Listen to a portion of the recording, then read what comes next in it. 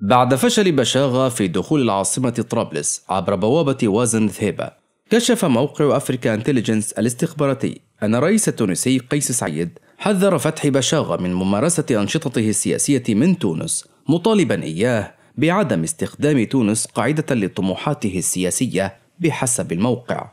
الأمر الذي اضطره إلى مغادرة تونس نحو الجنوب الليبي. الموقف التونسي يراه البعض أنه يريد النأي بنفسه عن التجاذبات السياسية في ليبيا بعكس الموقف المصري والجزائري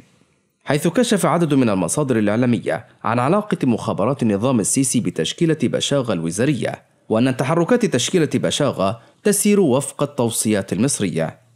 كما تحدثت المصادر الإعلامية عن سعي القاهرة لفرض مبعوث أممي عبر التواصل مع عدد من الدول الإفريقية منها جنوب أفريقيا من أجل التوافق على مقترح باسم شخصية إفريقية ترأس البعثة الأممية في ليبيا بدلا من المستشارة الأممية ستيفاني ويليامز والتي لم ترق سياستها الأخيرة لنظام حكم السيسي. ناهيك عن رعاية القاهرة لجلسات مباحثات القاعدة الدستورية برعاية عباس كامل رئيس المخابرات المصرية.